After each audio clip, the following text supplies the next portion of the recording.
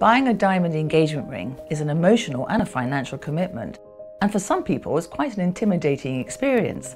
So I'm here with Guy Burton at Hancock's in London's Burlington Arcade, and he's going to talk you through the process of buying a diamond engagement ring. Designing the perfect engagement ring starts with the stone. Here at Hancock's, we're passionate about old cut diamonds. Each old cut diamond is absolutely unique. It has its own character, its own life, its own sparkle, and that's what makes it personal and that's what makes it bespoke. Once you've found the perfect diamond, the next stage is of course creating the perfect ring. Whether it be an old cut diamond or a contemporary cut stone, the importance of the setting is paramount to making the perfect ring. Here at Hancock's we believe in doing everything traditionally. My sister Amy is our in-house designer and she will hand draw in the traditional manner the final design.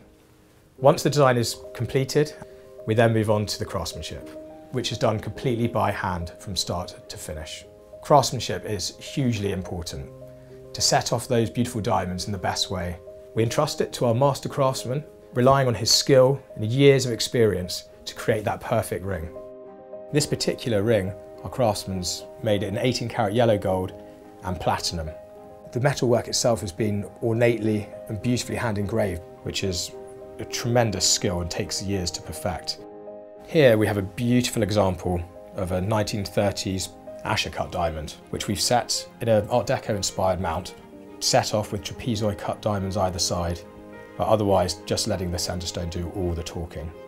Here's an unusual example of an old mine cut cushion diamond, and we've set this as a classic solitaire, but we've had a little twist on it with the really fine ornate engraving on the metalwork on the platinum. We like to take a lot of our influences from older designs, whether it be Victorian or Art Deco, and we try to suit it to the era that the stones would have been cut in. These stones are, a very early old European brilliants, so we thought no better way to set it as the Victorians may have done themselves. And here we have a, an antique cut uh, round stone, an old European brilliant, and we set it in a diamond set cluster using single cut diamonds, which are, again are contemporary to the cut. With these old cut stones, they're cut slightly deeper but with that, they really magnify the beauty of a stone and, and get the best out of it.